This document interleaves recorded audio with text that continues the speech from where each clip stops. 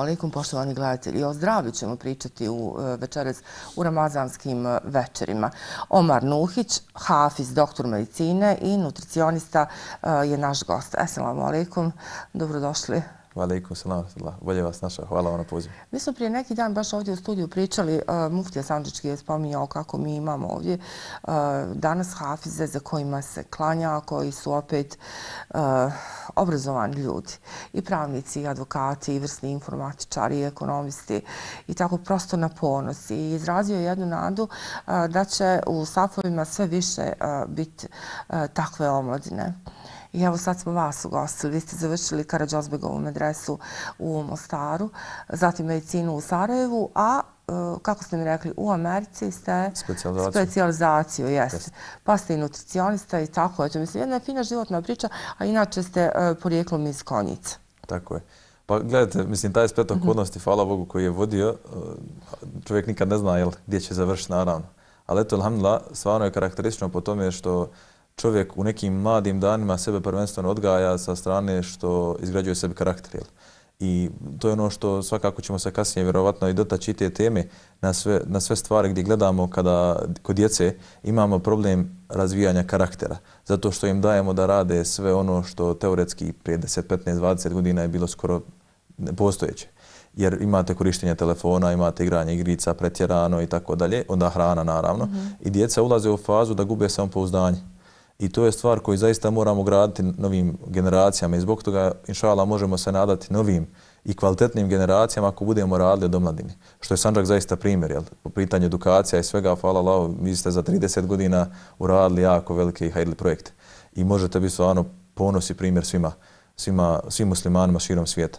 Tako da je to osnova zaista i to je nešto što insana odgaja kasnije. Jer osnova i temelj koji napravite na početku vam gradi čitav karakter kasnije.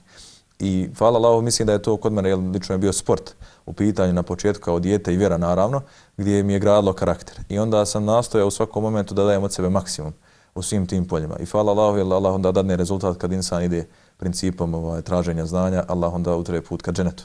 I to je nešto, i otvaraju se naravno drugi, drugi putevi, kako u, u oblastima nauke, tako i u vjerskim dijelama. Baš vas je ovako lijepo slušati. Kad ste otišli u specializa na specijalizaciju u Ameriku, s vašim stavovima. Kako ste dočekani? Koliko ste bili možda tamo interesantni, u neku ruku neobični? Imam tu dosta stvari koje su karakteristične kod nas, ali sam pokušavao na, na, na način jel, koji je nama pristupačan da objasnim jel, ljekarima šta to recimo hijjama radi, šta to radi mm. tipa hrana jel, koju je poslanik sallallahu alaihi sallam preporučivao. I onda stvarno je bila pozitivna reakcija kad sam postepeno ubacivao informacije tipa čurokutov ulje zašto je preporučeno. I onda su između ostalog neki od njih čak radi istraživanja na tu tematiku, gdje prije godinu dana su recimo izbacili istraživanje na, na tematiku čurokutovog ulja, da korištenje čorokutovog ulja 8 do 12 sedmica po jednu supenu kašiku dnevno stabilizuje TSH, hormon štitne žlijezde kod žena. I to je stvarno karakteristično. I tek sad medicina pokušava da otkriva ono što je poslanik, odnosno vjera, ovaj, na, nam, na, nalagala, odnosno dala nam benefit kroz hadise i kroz Kur'an da to imamo sigurno u tome neku korist. Jel, I sa strane ne samo čurokutovog ulja, onda meda, koliko danas pokušavaju dokazati oko probiotika i svih tih stvari. I to je zaista, zaista uh, mi drago jel, što su sa te strane neke stvari prisvojili i neki čak od njih su iskoristili to kao savjeti i koristili su kod svojih pacijenata. I to je benefit jel, kultura vani. E, dok kod nas mi smo malo inače posebni po tom pitanju što dosta sumnjamo, jel? Uh -huh. Ali hvala Allahu jednom kad prihvatimo, onda to jel, poštujemo, tako da i to nam velika korist. E, međutim, kod njih tamo oni uvijek postavljaju pitanje, ok, to je ispravno, uh -huh. vjerovatno, ali hajde da testiram tematiku. I sa te strane, dosta, dosta njih je zaista dobilo dobre rezultate, pogotovo u pitanju hipotiroze, ovaj, štitne žlijezde, uh -huh. gdje je TSH visok. Sa čurokutovim uljem su spustili oko 1,5 do 2 ovaj, TSH. Recimo, ako je bio 4, spustili su ga na 2,5, 3, uh -huh. što je zaista dobar rezultat sa čorokutovim uljem kada ne koristite jel, medikamente. Mm -hmm. Vi uh, ste poznati po hijjami. I sad, uh, kako, evo, mene zanima to kad ste došli u Ameriku, taj dio priče me interesuje. Vjerovatno ste se i tad bavili, jeste li? Hijjamom? Da, hijjamom.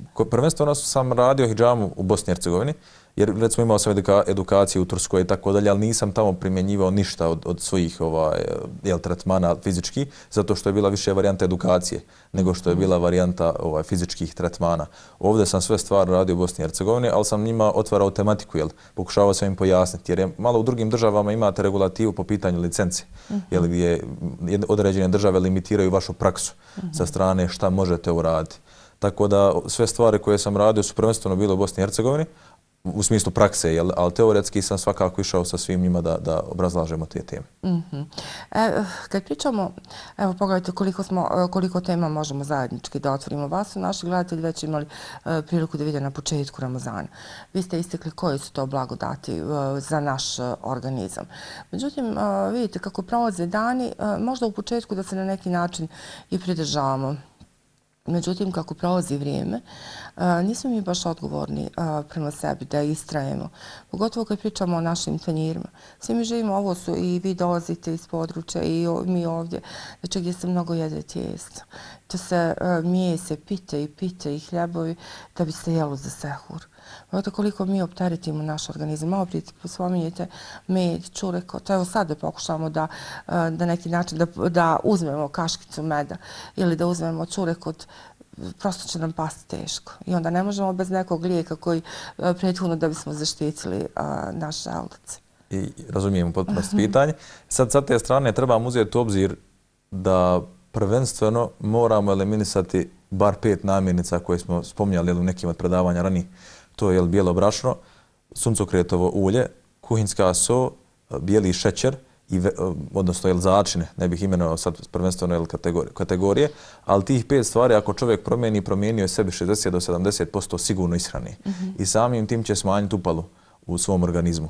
Jer gledajte, svih tih pet stvari su veliki inflamatorni faktori, što znači da, da izazivaju upalu u tijelu, izazivaju požar pod navodnim znacima, jel? da bacaju vam gorivo na, na vatru i mora se vatra rasplamsati. Tako da je to nešto što je karakteristično za naše tijelo i zato imamo toliko oboljenja danas. Jer bježimo od suštine. Imate recimo jel, karakterističan primjer da, da od, kod Kineza u periodu od 37 godina sa 1% procenata diabetes tipa 2 došlo je na 11,6% što su vodeći po pitanju diabetesa tipa 2. Šta se promijenilo? Promijenila se ishrana u zadnjih 40 godina. Mm -hmm. Samo ishrana. I to je stvar gdje recimo i, i kod nas ovdje u Bosni i Hercegovini, i kod vas u Sanđaku svakako, karakteristično je po tome što uništavamo svoj sistem upravo sa ovih pet namirnica koje sam spomenuo. Jer uništavamo želudac, uništavamo crijeva i onda stvaramo podložno tlo za bilo koje drugo oboljenje. I imate recimo ili u Bosni i Hercegovini jako veliki porast diabetesa tipa 2, autoimunih oboljenja tipa Hashimota, kao što je kod, kod ili ženskog spola naročito, onda hipertenzije, masna jetra i tako dalje. Danas je masna jetra standardni problem, jel? Gdje ono, smatramo više da je to ono normalno svima nama da nemamo izazova po tom pitanju. Međutim, to nije tačno. Tijelo šalje simptome u bilo kojem momentu ako nešto ne radi. Ako imamo glavobolje, mora biti razlog zašto imamo. Možda je to reakcija na hranu, možda je nešto drugo skroz, ali nije, nije rješenje uvijek uzeti lijek jer samo, samo supresujemo simptome, znači ne pokažemo uopšte ili ne analiziramo šta se desilo to u našem tijelu. Što je zaista bitno, jer jedan lijek, drugi lijek, treći lijek, četvrti, znači ako koristimo to pet dana, šesti dan već taj lijek neće davati efekt, pa ćemo mora mhm. drugi jači koristiti. I ode tijelo u nekom drugom smjeru. Međutim, pojenta je, eliminisanjem ovih pet namirnica mi možemo preventovati dosta ovih oboljenja, a isto tako možemo i riješiti tipa masne jetre, tipa diabetesa, možemo smanjiti sebi terapiju. Gdje recimo mi smo konkretno, jel, hvala Bogu, kod tretiranja pacijenata diabetesa tipa 2, e, navešću ih par, jel, koji su stvarno karakterističan primjer, riješili u potpunosti korištenje lijekova. Znači, sa, sa korištenja inzulina, sa korištenja lijekova ovamo, jednostavno, oni su sa svojim endokrinologom kasnije, znači, samo smanjivali dozu. Mi smo samo radili na stvarima, ok, tretirali smo uzrok oboljenja, što radimo ili kroz funkcionalnu mhm. medicinu, videli smo gdje je problem, ugasli smo požar i samo se krenuo šećer stabilizirati. Masna jetra se krenuo eliminisati. Recimo, jedan karakterističan pacijent... Dajte nam primjer, jest. Jest. Jedan karakterističan zaista pacijent je bio sa, sa masnom jetrom, hipertenzijom i diabetesom tipa 2. Koristio je osam lijekova dnevno i on je, hvala Bogu, kroz sedam dana već prestao koristiti terapiju za povišen krvni pritisak za sedam dana, gdje mu je pritisak bio po 200 na terapiji. To je zaista visok pritisak, jel? To je većinom za odmah korekcije. Međutim, on je kod svojih ljekara kada je išao, u većini slučajeva dobivao je neki odgovor, ali imao kontraefekte, imao je nus efekte. I onda, mislim, čovjek, jel razumijem, bio je godinama u nekom procesu, stres i tako dalje, jednostavno nije imao više snage. Mm -hmm. I onda smo krenuli od sistemski rad. Za mjesec dana eliminisao tablete za šećer u potpunosti i za masnu jetru za, za mjesec i po dana. Znači, on je za tih mjesec i po dana se riješio svih lijekova, a za tri mjeseca okvirno je izgubio 25 kg. A kako ste korigovali? Prvenstveno smo vidjeli kod njega konkretno je bio problem hormonalnog tipa, gdje je imao debalans kortizolnog ovaj, hormona, znači to je hormon stresa, gdje je bio u debalansiranoj formi totalno. Radili smo analizu iz pljuvačke, vidjeli smo gdje su tačno problem, problemi, tretirali ga, samo se šećer krenuo balansirati sam. Jer gledajte, vi kad rješavate problem, odnosno uzrok, vidjeli smo da je to uzrok oboljenja bio, shodno simptomima, tretirali ga, sve ostalo se samo poredalo. Jer Allah je stvorio tijelo savršeno, znači sve je konektovano. Ako imate glavobolju, mora biti razlog zašto. Ne može biti tek tako, evo, boli me glava, ne znam od čega. Znači mora biti, da li je to mišićni problem, da, što je standardna, jel, danas ovaj, standardni izazov, to je trapezni mišić koji izaziva refleksiju boli u slijepu očicu i onda možemo imati čak migrenoznu bol koja ide ovako, jel, ili zatijog da boli. To je recimo jedan problem. Jel. Drugi problem je reakcija na gluten, na, mm -hmm. na šećere, na kravlje proizvode. To su sve stvari koje mogu da, da prave glavobolju. Također kafa. Jel, to je jedan od izazova. Kafa također remeti ovaj kortizol ovamo koji sam spominjao, mm -hmm. gdje kod ovog čovjeka je pravilo problem i sa hipertenzijom i sa šećerom. I rješavanje korigovali smo, znači, pored tih hormona, kad smo radili u smislu suplementacije adaptogenim biljkama, eh, radili smo princip eliminacije određenih namirnica u vidu kravljih proizvoda, šećera i pojačali smo unos drugih namirnica, samo se tijelo krenulo balansirati. Mm -hmm. Jer gasite požar. Sve ove stvari o kojima sam pričao malo prije, mi tim stvarima pokušavamo da kontrolišemo vatru i da je ugasimo na kraju. Koliko je bio istrajan na kraju? Bio Vjerovatno ste pratili poslije, bili u kontaktu da. nekom. I dalje smo u kontaktu, hvala Bogu, on je u potpunosti, znači čist ne koristi ništa, funkcioniše, govori čak bolje nego prije 20 godina, jel? Mm -hmm. Čovjek koji je 55 godina sada, zna, osjeća se, kaže, bolje nego sa 30 godina. Mm -hmm. Tako da ovaj, to je zaista princip, kada dajete tijelu njegovo pravo, njegov hak, dobit ćete sve ostalo. Samo pa, ga moramo da. tretirati. Pa ste mi danas imamo i nepovjerenje u zdravstveni sistem, nažalost. I uh, postali smo na neki način sami sebi ljekari. Uh, osluškujemo, pratimo. Naša greška je što tražimo uh, neke odgovore na internetu, ja, sve je individualno. Uh, koliko sad da imamo takav jedan pristup, pristup stvarno, o, kao što ste vi sad uh, govorili, koliko bismo imali uh, efekta, koliko bi to sad dao rezultat? Sigurno da prva stvar koju jel, treba uzeti obzir da, da Allah, osnova je da svaki ljekar pokušava da dadne svoj maksimum određenim stvarima, ali naravno neko od nas je sačuvan određenog znanja, nije nam Allah dao u nekim mm -hmm. sektorima i to treba jel, prihvatiti. Ali samim tim nije uvijek ni dobra opcija da, da radimo istraživanja na internetu zato što zaista ima kontrainformacija. Jer klasični primjer je kafa, navješću je zaista kao primjer, gdje imate recimo često na istim portalima se objavljuje forma da je kafa dobra i da ima benefite, a na, dru, na, na istom tom portalu za mjesec dana kažu kafa je skroz štetna, ima probleme. To se svodi na genetiku. Nema opšteg pravila. Jel? Jer imate varijantu da ako imate CYP1A2 enzim, on vari kafu. I onda vi od kafe imate benefit za 200% vam se smanjuje rizik od srčanog udara, A ako nemate taj enzim, onda vam se pogoršava za 200%. Znači, možete dobiti srčani ili moždani udar. A kako provjeravamo? Možemo li da provjerimo? Može se to uraditi genetska analiza na te stvari da vidite enzim, ali druga stvar je, treba pratiti, odnosno jednostavnija stvar je za osobe koje su, nisu mogućnosti to sve priuštiti. Os, varijanta je da, da testirate svoje tijelo. Popijete recimo kafu i pratite simptome poslije. Da li imate nadutost, gasove, proliv, odnosno diareju, jel, zatvor, da li imate glavobolju, da li osjećate tenziju, iritabilnost, anksioznost. Ovo su sve zaista bitni simptomi koje kafa može da napravi. Ne samo kafa, bilo koja namjenica. Ali pošto mi volimo puno kafu pit, jel, i to nije problem, alhamdulillah, samo je treba jel, usmjeriti. Jer zaista ovaj, ne smijemo pretirivati ni sa jednom stavkom. I to je osnova islama između ostalo. Kulu vaše vola tusrifu, jel, jedite i pite, ali ne pretjerujte. I imate čak na mnogim mjestima u medicinskom dijelu se spominje da, da osoba koja pretjeruje pri unosom hrane može da napravi sebi problem sa crijevima, u smislu SIBA. To se zove Small Intestinal Bacterial Overgrowth, prerast tankog crijeva sa lošim bakterijama. Mm -hmm. Gdje smo mi konkretno kod nekoliko pacijenata koji su imali tih simptoma, hvala Bogu kroz 2-3 mjeseca u potpunosti riješili simptome.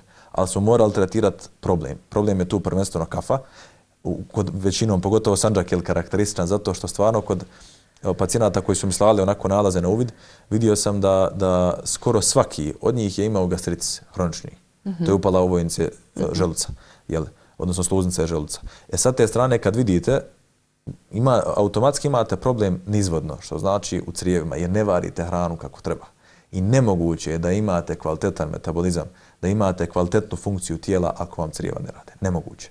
Jer zaista prvo želudac je kao osnova varenja hrane, onda tek crijevni sistem. Zato se zaista moramo jel, posvetiti tome da, da ne samo kafu, nego bilo koju namirnicu pratimo. Jer ono što ste me pitali bili e, prethodno ili za tjestaninu, nije problem ni tjestanina toliko ako tražimo da je organski uzgoj. Imamo sad, hvala Bogu, zaista prodavnice gdje se može kupiti bar biološka hrana, ovaj, gdje, gdje osjetit ćete sigurno razliku kada koristite biološku hranu i kad koristite ovu klasičnu, odnosno brašnu, gdje ćete vidjeti napraviti isti taj hljeb s ovim pet namirnica promijenite i na organsko što sam spomenuo, nećete imati osjećaj nadutosti, napuhanosti, osim ako nemate celijaki ili neki taj problem. Jel? Mm -hmm. ovaj, ali to je zaista osnova, ako želite kvalitetnu funkciju tijela, morate raditi na svojim crijevima. Morate raditi, jer tu, tu je osnova za razvijanje svakog autoimunog oboljenja.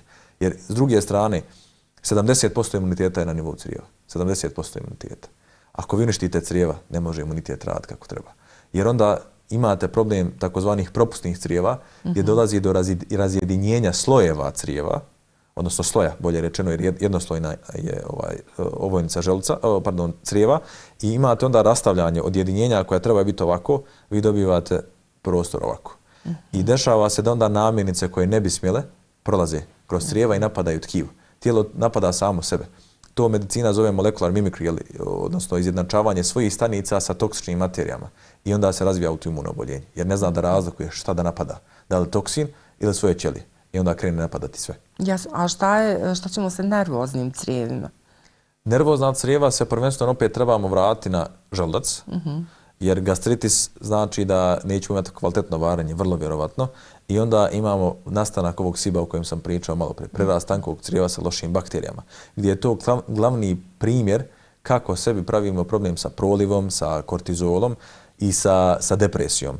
Jer nervozna crijeva imaju direktnu konekciju sa depresijom. Uh mhm. -huh. To može biti psihološkog karaktera, ali čiji je slučaj da je to fizičkog karaktera, u smislu oboljenja unutra, unutar vašeg stomaka. Zato što se na nivou crijeva lučite 95% serotonina, hormon sreće. Uh mhm. -huh. Ako nemate funkciju crijeva kvalitetno, ne možete biti happy, jel što amerikanski kažu, odnosno sretni. Morate imati tu promjenu uh, muda, što, što kažu amerikanci. Mud je kao varijanta, uh, kako bi objasnio, znači osjećaja ili, ili promjene raspoloženja, bolje je tako da mm -hmm. definišem. Jer promjena raspoloženja se dešava svima nama na nivou dana, ali je većinom ne analiziramo zašto se dešava. Je li to do crijeva? Je li to što sam popio kafu? Je li to što nisam popio vode dovoljno? Je li mi fali nešto od nutrijenata? Tako da zaista osnovna stvar kod, kod problema nervoznih crijeva je prvenstveno tretiranje, znači od usta prema dole, mm -hmm. a druga stvar je apsorpcija emocija. -hmm. Jer to je nešto što, nažalost, svi mi ili imamo pretjeranu reakciju ili ne reagujemo nikako. Malo nas prati ono što je, između ostalog, jeli, vjera naložila da, da ostanimo se na Allaha, a uradimo ono što je do nas. I u tim stvarima ne bismo imali apsolutno nikakav problem. Jel? Ali hvala Allahu, pa opet insan se može vas da korigovati jel? u svakom momentu. E sa te strane je veoma bitno da analiziramo sami sebe i da vidimo gdje su tu problemi. Jel mi absorbujemo emocije, pa nas boli, zato što nam je neko nešto rekao ili uradio i nije problem ni to, jer ok, neću, neću se svađati, neću ulaziti u prepirku, ali moram to izbaciti bar na papir. Da vidim, ok, je li relevantno ja. da se ja sekiram oko tih stvari. Jer imate tu konekciju gut-brain axis, znači konekcija mozga sa crijevima, gdje ako jedno ne radi, ne može drugo raditi kako treba. Mhm. Bez obzira jesu li to crijeva ili je to mozak. Jer onda imate čest problem danas kod ljudi, znači, uh, da, da imaju omaglicu, takozvanu brain fog, jel, gdje nemaju kvalitetan fokus kad pričaju, osjećaju se umorno stalno, koncentracija je nula, ne mogu zapamtiti imena od osoba, poznaju se sa osobama, ne znaju kako se zove koja osoba, jel. Mm -hmm. Tri puta im se predstavlja. E to je standardni problem gdje čovjeku ne rade ili crijeva ili mozak. Većinom sto crijeva u 90% slučajeva. Rješavanjem tog dijela rješavate i hormonalni balans i rješavate i moždanu funkciju, mm. kognitivnu. Mi, hoću još malo, kad smo kod kafe, tu smo negdje blizu da ne odjemo previše, čemu ustanemo ujutro, pijemo kafu? A šta bismo trebali prije kafe da pijemo? Jer kafa zapravo crpi vodu jel, iz našeg organizma. Kako bi trebao taj proces do kafe? Mada nemamo mi vremena. Ako radimo od 6, nek ustanemo u 5.15, kako ćemo? Dok pijemo vodu, čaj, pa kafu, zakasnit ćemo. Jel? Tu trebamo prvo uzeti obzir zbog čega nam treba kafa da se razbudimo. Jel? To je, to je prvo pitanje. Da. Jer smo navikli svoje tijelo da ne, ne može da funkcioniše bez kafe. I gledajte sada, prva stvar tu je hormonalni debalans koji nam zahtijeva da ujutru se razbudimo kafom, što ne bi smjelo da bude u redu. Jer kada unesete kafu prva stvar ujutru na buđenju, vi uništavate upravo ovu sluznicu želuca, mhm. iritirate i onda dobivate hronični gastritis. Prva stvar koja treba ujutru da vas razbudi jeste voda. Jedna do dvije čaše mlake vode. Pogotovo ako imate limun, možete malo limuna dodati. Ne smije biti previše, da ne bi bilo previše agresivno. Ali ta varijanta može zaista da vas podigne skroz na drugi nivo, jer će dati tijelo ono što mu je osnova. 70% tijela je voda. I prvo što vam tijelo treba tražiti ujutru i traži jel, je voda. Međutim, mi ako ugasimo receptore žeći, to se dešava na način što prvo pijemo kafu, onda toliko dana nećemo popiti ni litar vode. I vrlo, ovo je često, čest problem. I zato imamo i toliki procenat hipertenzije, jer ne dajemo tijelu njegovo osnovno pravo. A stalno ga guramo u proces izmokravanja, jer je kafa diuretik, i podižemo krvni pritisak. I sad je pitanje samo vremena, odnosno pitanje momenta, kad će doći do razvijanja hipertenzije. Jer jedna šoljica kafe povuče vam okvirno pola litra vode iz tijela. Znači čovjek koji je fit, jel 80 kg da ima 180 cm visine, on mora 2,5 litra vode da unese. I zamislite vi jedna šoljica kafe, to je 3 litra. Dvije šoljice, 3,5 litra. Jel? I ode to jel, u tom smjeru. I nije problem, opet kažem, ni kafa ako je popijemo, ali moramo je dati njeno pravo, odnosno njen moment, i da to više bude čeif, užitak, uh -huh. a nikako da bude osnova funkcionisanja. Uh -huh. Jer možemo je koristiti kao poboljšanje kognitivne funkcije, ali bojim se na ovaj način kad radimo da uništavamo svoje tijelo i guramo ga skroz u suprotan proces uh -huh. funkcionisanja. Uh -huh. Kako izgleda vaš dan? Evo, kad ustajete ujutro? Ustajem na sabah i poslije sabaha ostajem većinom budan. Znači gdje, gdje na taj način ili sa medicinske strane kortizol ostaje balansiran. Prvenstveno ujutru kad ustanem gledam da uradim odmah trening, znači fizičku aktivnost neki 20 minuta, to je većinom prije sabaha. Ovaj, nakon toga znači istuširam se hladnom vodom i onda odem sabah, znači klanjam, nakon sabaha uradim evaluaciju sebe kroz dnevnik, znači gdje upravo ove misli, stres i ostale stvari pokušavam da izbacim na papir da vidim gdje su tu izazovi. Naravno tu prije jel, svakako ovaj, toga ide Kur'an.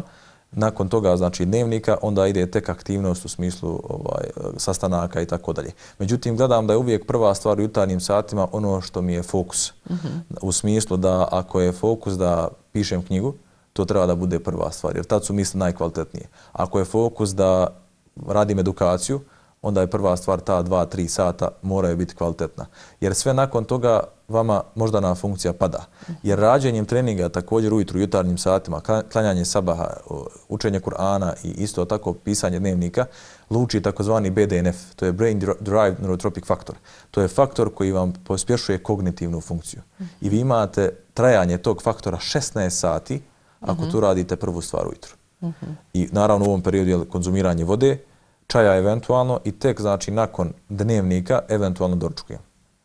Šta vam je za doček? Prvenstveno, jel fokus je na jaja, 3-4 jajeta, tu salata uvijek bude kao pola tanjira i to je jel, doručak prvenstveno, eventualno ako ima neki sos koji je organskog porijekla, dodam, dodam ovaj, i njega a ovamo poslije, jel, onda užina gledam, zavisi, odnosno osluškujem svoje tijelo. Ako osjećam glad, ako sam pojačao intenzitet treninga, onda povećavam unos i užine, dodam recimo čija puding napravim ili neke te uh mhm. -huh. ovaj, sorte. Ručak je uvijek, znači, pola tanjira povrće obavezno, pogotovo svježe. Četvrtina bude karbohidrat u vidu krompira, riže ili nečega i četvrtina budu proteine. Naravno, te proteine povećavam shodno jel, fizičkoj aktivnosti, i na taj način funkcionišem. Znači, pojenta je osluškivati samo svoje tijelo. Ako ne treniram nešto intenzivno, onda tijelo traži manje i manje jedem. Jel? Mm -hmm. Ali pojenta je zaista da, da ne pretjerujemo, jer onda tijelo gurnemo skroz u drugi princip funkcionacije. Da, kad je zadnji neki rok uh, da jedete na večer?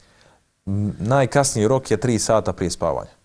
Jer 3 sata je dovoljno tijelo da krene variti hranu, odnosno da provari taj sistem mm -hmm. i da uđe u fazu relaksacije u potpunosti. Mm -hmm. U suprotnom, bojim se da ćemo ujutru ustajati sa mučinom, jer to je ono što nauka dokazuje, jel? kada čovjek jede neposredno pred spavanje ili gricka, ima mučinu, ima nadutost, ima gasove i osjeća se tromo, puno teže se budi, mm -hmm. jer ste dali tijelu proces da vari tokom noći, a treba da se obnavlja. Da. To je naš standardni problem i zato nam kafa ujutru treba, jer ne možemo da se razbudimo, ustajemo tromi umrtvimo svoje tijelo na veče, konzumiranjem iša i tako dalje, i onda ujutru ne možemo ustati kvalitetni, razbuđeni i tako dalje. Međutim, jel ono što je, hvala Bogu, kod vas ovdje zaista primjer je što malo vam treba da krene, krenete, odnosno da krenemo svi mi, jel, praktikovati određene stvari, ali moramo raditi na kontinuitetu.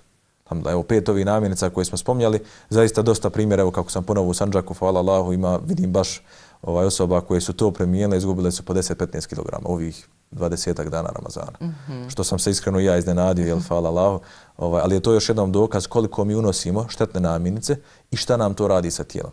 Znači osoba je samo promijenila ovih pet namirnica na organski. Nije uopšte eliminisala skroz. Mm -hmm. Samo ih na organski promijenila. Jer date tijelu njegovo, njegovo pravo, hak, smanjiti unos toksina i tijelo krene u proces obnove. Da, ali vidite šta mi radimo. Mi smo svi svjesni šta nam ne odgovara. I najčešće nam uh, ono što nam ne odgovara, mi to volimo. Jel? I toga se najteže i odričemo. Uh, koliko je sad, koliko zapravo trebamo mi biti uh, spremni da pobjedimo sebe. I to je teško. Tako je. Međutim, prva stvar tu treba da bude fokus da ne može doći prvo motivacija, mora prvo doći akcija. Mm -hmm. Da bi došla uh, motivacija, mi moramo imati akciju. U smislu, jel, ako ja hoću da treniram, ili jel, on, utromljen sam, to amerikanci kažu couch potato, jel, ovaj, čovjek, koja se, čovjek koji se izležava na krevetu stalno, imate sad primjer tu što ne možemo čekati da nam dođe motivacija da krenemo trenirati, nego trebamo ustati, uraditi trening, tak tek će tad doći motivacija. To se dešava zato što imamo takozvani, takozvanu substancu dopamin, koja je zadužena za kontrolisanje ovisnosti. Jer mi, nažalost, danas putem telefona i svi ovih stvari ulazimo u dopaminergijski cirkus, što znači da konstantno ovisimo samo o dopaminu. I tijelo onda ne zna funkcionisati bez njega. Jer mi u svakom momentu uzimamo telefon kada osjećamo pad energije, mm -hmm. uzimamo telefon i listamo yes. i potrošimo sat vremena ili nebitno pola sata i nakon toga vidimo, ok, ostavim telefon i kažem, joj, opet mi nešto loše, nisam nikako dobar. I opet na telefon se vraćam. I ulazim u taj cirkus. E, dopamin se luči dok ja listam telefon ili dok gledam film. Nakon filma ja sam opet utromljen. I onda idem ili spavat ili idem jest. I ulazimo u, u sistem. Jer onda čovjek poseže za tim da ne, mrtsko mu je napraviti hranu i onda uzima ili naručuje hranu, jeftinije mi ovo, ne gubim vrijeme, a u suštini gubi vrijeme listanjem telefona.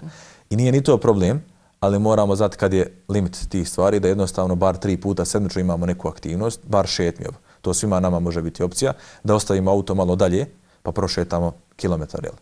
Da napravimo, da tjeramo tijelo u suštini na neki način da, da ima aktivnost. Je li to otići do radnje, pa neću autom otići prošetati?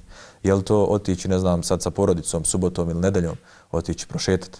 To su sve stvari koje zaista trebamo staviti kao osnovu da imamo aktivaciju, pa tek onda motivaciju. Jer po pitanju hrane je ista stvar. Mi moramo prvo uraditi korake, a onda će nam tijelo dati sve ostalo što treba. Moramo reći, ok, meni ovo smeta, hajde da probam samo, da vidim šta će se desiti. Jer ne, ne košta nas ništa probati. To je samo sve, u suštini svima nama je to strast, ništa drugo. Jer ako čovjek gleda sa drugog stanovištva, šta je pojenta kole generalno čovjek kad konzumira? Znači gaziranih pića. Ništa drugo osim zadovoljavanja duše. Nemamo neki medicinski efekt tih stvari. Nikakav značajan. Čak što više imamo kontraefekat. Jel? Ali nam prija u jednom trenutku, ako nas boli glava, ako osjetimo pad energije, kad putujemo, uh, volimo da nam je kola tu negdje pljuci. Ako smo dijabetičari, recimo, pa padnemo u hipoglikemiju, što vam može prije dići uh, šećer nego kola? Slažem se sa strane što posežemo za brzim izvorima šećera. Da. Međutim, nije nam to rješenje dugoročno. Jer konzumiranjem kole, jel, ovaj, prvenstveno, imate problem što gazirana pića sva, znači od, od ovih jel, obojenih do, do drugih formi, čak energetskih pića, dobivam upravo to samo kratkotrajni šećer. Ja sam recimo testirao na sebe.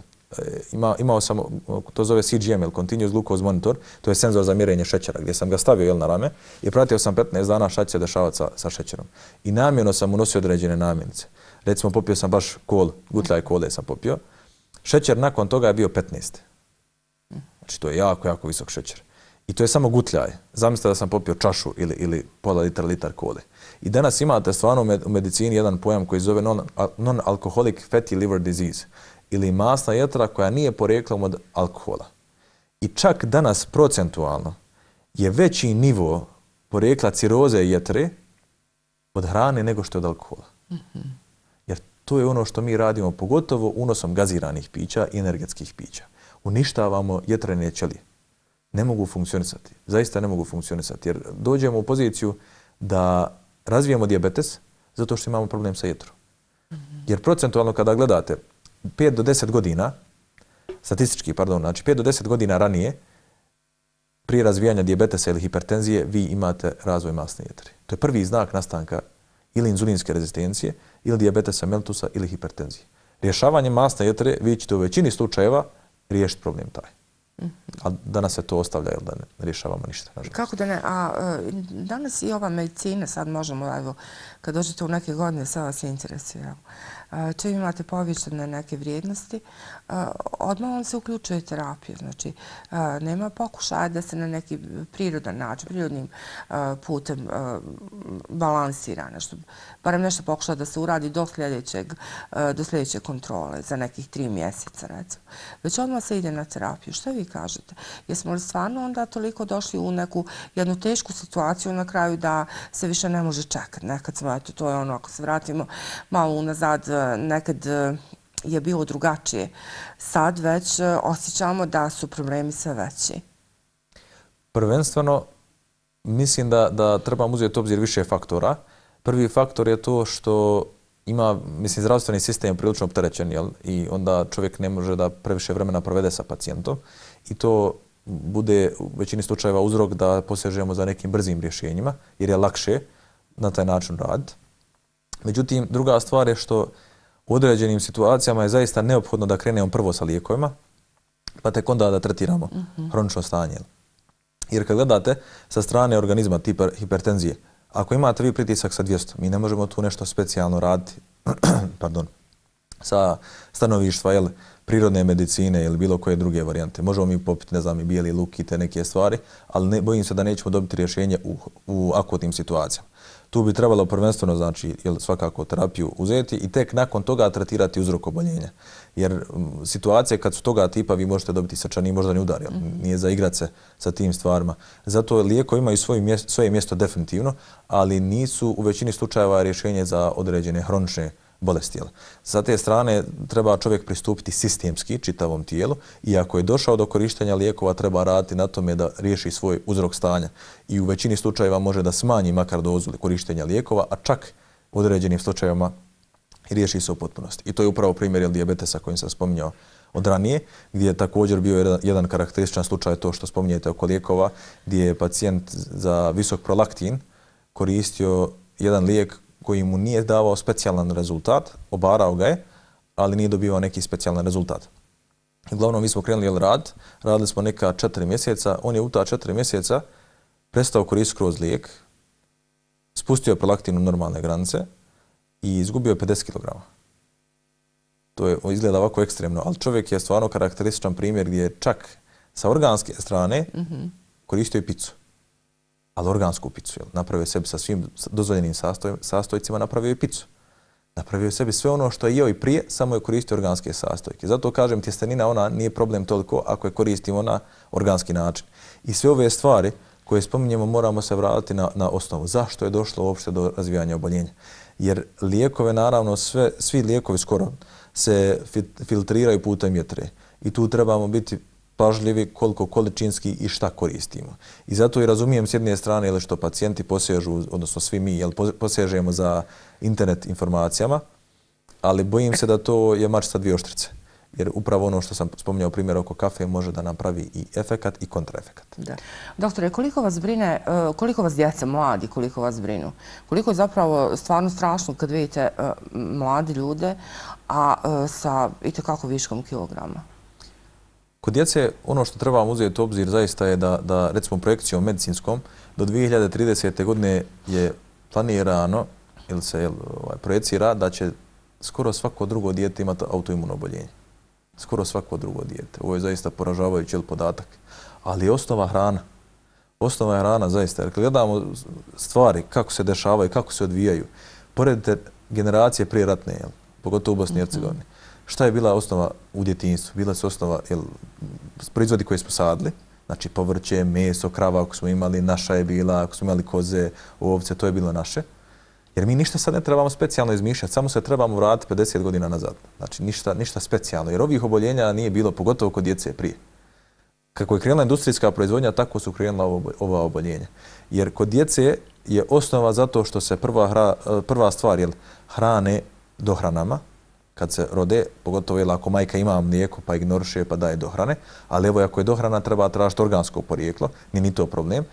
I nakon toga onda krenemo voditi prerano određene stvari, ko što su kravlji proizvodi, ko što su mahunarke, gluten. Jer kad gledate te stvari, vi uništavate crijeva. Nemate jednostavno nikakav potencijalni benefit po vaše zdravstveno stanje kasnije. Jer unošenje tih stvari rano uništava floru crijeva. Imate čak dokaz dijete koje nije dojilo majku dvije godine da ne može imati bakteriju koja se zove Bacteroides infantis. I kasnije ne možete nadoknati toku svog života. Nikako. To se jedino prenosi putem majčnog mlijeka.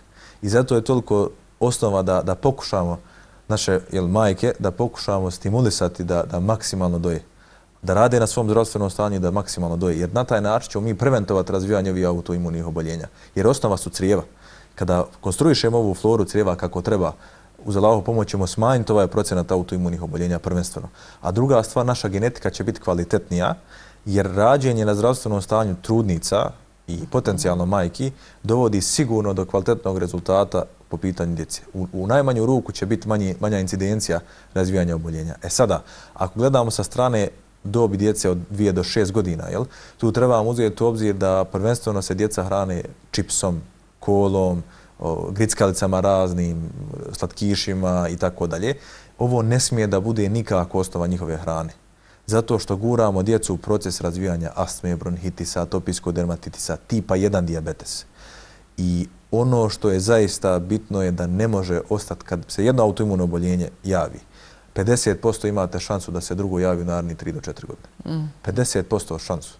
To je, mislim, pitanje samo u stvari vremena, jel? Kad će se razviti to drugo oboljenje. Ako se javi drugo, onda je neminovno kad će se javiti treće. Jer sve ide u setu. Jer vi kad pokrenete vatru, jel? Pitanje je samo gdje ona ide, gdje će se završiti. Jer to je nekontrolisani požar nemate vi, kad se javi jednom autoimun, autoimuno oboljenje, vi ne možete kontrolisati požar na ovaj način. Možete, ako krenete rad na svim stavkama, da krenete rješavati, jel, prvenstveno upalo, u smislu crijeva, podešavanje svih stvari, jer to kod djece mora, mora biti osnova, zaista. Da, da radimo sa njima, da krenemo jel, pričati, objašnjavati im sve. Jer nije samo bitno naredba. Moramo im objasniti zašto to da rade. Jer kada nisu sa nama, moraju da znaju, ok, ja sam u školi, ali neću ja to uzeti zato što znam šta je to znam šta će se desiti meni, bolit će me stomak, imaću proliv, eh, ima, imaću jel, glavobolju ili nešto će mi se desiti. Jer kad gledate kako je logika da dijete od šest godina ima glavobolju, Mislim, to je skoro jel, ne, nepoznanca prije bilo. Koliko je poražavajuća stvar da naše djece sve više oboljevaju od šećera? To je zaista velik, velik poraz, zato što se osnova vraća nazad upravo na te stvari, na, na trudnoću, na hranjenje djete u prve dvije godine i nakon toga, naravno, jel, nastava, kako ste u osnovu napravili kontra, teško kasnije, naravno izvodivo je, ali je puno teže doći do određenih rezultata. Jer moramo raditi na tome da, da i kroz sistem pokušavamo u školstvu, u obdaništima i tako dalje, da krenemo raditi osnovu kvalitete unosa namirnica djeci. Da sa one brze hrane, da djecu prebacimo na kvalitetnu hranu. Jer uz Allahu pomoć ovdje ćemo dobiti zaista pun efekat. Jer djeca će imati kognitivnu funkciju koja će biti bolja. Recimo kod par pacijenata, kod djece koji, kod koji smo radili, imali su autizam. I korigovanjem samo određenih stvari njihova e, situacija kognitivna se poboljšala. Smanjio se njihov taj iritabilni efekat gdje, gdje su nekontrolisano radili stvari. Čak šta više, rukopis kroz šest mjeseci je totalno drugi. Znači gdje od nekontrolisanog da ne možete ništa pročitati. A šta ste najčešće od toga izbacivali? Prvenstveno, jel, morate eliminisati kravlje kod autistične djece, morate eliminisati oksalate, to su špinat, bobičasto voće i tako dalje i naravno mora, moraju se vidjeti drugi faktori tipa da li ima infekcija, da li je tu vlaga prisutna, jer vlaga često može biti uzrok autizma, također može biti uzročnik tipa 1 diabetes. I ovo je stvarno bitna stvar i zato i prije 100 godina tip 1 diabetes bio prisutan, zato što je bilo dosta vlagi. Imate čak u spisima, to je zaista ovaj, karakteristično bilo kad sam analizirao druge religije i vidio sam u spisima da oni su čak radili u gradovima, kad se javi vlaga, imali su poseban protokol kako eliminišu vlagu kamena koje, jel, kamene su kuće bile, i kada bi eliminisali vlagu jedan dan, ako se sutra vrati, ponovili bi isti proces, ako se treći dan javi, morali bi srušiti kuću, iznijeti kamenje kilometar od grada, da ne bi se kao prenijelo. I to je zaista bitna stvar zato što je to jedan od razloga, danas medicina dokazuje, da može biti uzročnik tipa 1 diabetes, Parkinsonove bolesti, Alzheimerove bolesti, mnogih neuroloških oboljenja, MS-a i tako dalje i multipla skleroze. Mm -hmm. ovaj, to su stvari koje moramo krenuti razlučivati sebi da nam je to potencijalni problem i krenuti rješavati. Jer ne možemo ostaviti sve ok, pa evo, malo vlage imaju u redu. Ne, nije u redu da bude ni milimetar prisutno vlage. Moramo rješavati inšala u kući. Jer izvodivo je, samo se moramo step by step, korak po korak, jel, rješavati svoje stanje. Možemo uraditi sve ove stvari, nije problem. Evo da krenemo s onih pet namjenica, to nam je osnova. I onda polako jednu stvar na drugu dodavati. Ali isto tako ljudi moraju shvatiti da, odnosno svi mi moramo shvatiti da svi su mi različiti. Da. I pristup mora biti individualan. Jel? Ovih pet stvari su generalno pravilo. Ali za, za tip, recimo, tipa 2 diabetes, hipertenziju, kod dvije, iste, kod dvije rašte osobe, isti ti simptomi, drugačiji mogu biti uzroci. I ne može biti isti tretman. Da, ali da bi uh, tako ušli stvarno da, uh, da se počnemo baviti problemima, treba nam jedan sistem, znači da rješavamo problemi. Kako, na koji način? Pa prvenstveno bi trebalo to raditi sa svojim jel, ljekarom, zdravstvenim savjetnikom, da ulazite u analizu. U smislu da... da to je naš izabrani ljekar, jel? Tako je. Da. Prvenstveno, jer gledajte, vi imate to potpuno pravo da birate ko je vaš ljekar i sa te strane imate potpuno pravo da postavljate pitanja šta vas, jer to je vaše zdravstveno stanje. Vi plaćate tu uslugu od svojih plata i tako dalje. Na kraju krajeva ako idete privatno, to, je, mm -hmm. to su vaši novci. I ono što su mi dužni, to je da zaista vodimo računa sa strane koliko možemo a to je da osnovne stvari postavljamo pitanja. Evo i na osnovu, ako čitamo nešto na internetu, hajmo postaviti ta pitanja ljekaru, pa da vidimo, ok, je li to osnovano ili nije. Pogotovo ako imamo zdravstvenih izazova. Mm -hmm. Ako nemamo, hoćemo preventivno, to je još bolje, ali jel, prvenstveno moramo se mi edukovati oko baznih stvari. Mm -hmm. I evo, uh, Bajram će sad, šta nas tek sad čeka? Znači, kad pričamo kako bi trebalo da izgleda uh, naš tanjir, da mi kažemo, eto, ću danas da pojedem, pa, a opet, tamo gdje god da dođete, da se taj neko ne naljuti, jel? Nikog ne možete da odbijete, a kako ćete da odbijete kad vam se sve onako divno iznese? Slažem se, to je veliko iskušenje. da. Ovaj, a oči su gladne, posebno poslije Ramazana. Sa te strane, dobro bi bilo prvenstveno da vodimo računa da ne stavljamo sosove nikakve, da proberemo jel, hranu koja nema sosova, mm -hmm. znači ako je to meso, da bude čisto meso, jel, to je jedna stvar, i da bude četvrtina opet meso, standardni onaj sistem tanjira koji sam objašnjavao, da bude polovina uvijek povrće, da tražimo svježe salate i tako dalje, možemo dodati maslovog ulja i limuna, to je nešto što nam sigurno može smanjiti nus efekat hrane koja nije ok, i ovamo četvrtina da budu riža ili krompir ili nešto. Hljeb bi bolje bilo izbjeći, i tu se neće opet niko naljuti sigurno, ali ovaj, sad te strane to je više neki naš čejf, jel, da pojedemo to. Kafu nije sporno, ali bi radije da ako popijete već kafu, da prebacite sat vremena, umjesto da je pijete direktno, da je pomjerite za sat vremena nakon obroka. Jer to je bitna stvar zato što pogotovo kod ženskog spola ćete blokirati apsorpciju željeza. Uh -huh. I onda imate razvoj anemija i tako dalje. Jel? To je jedna stvar. I ono što je također bitna stvar, dobro bi bilo izbjeći korištenje slatka, znači čokolada, kolača, ili ako možete, naravno, osobe koje žele da prave, da naprave sebi samo sa organskim šećerima.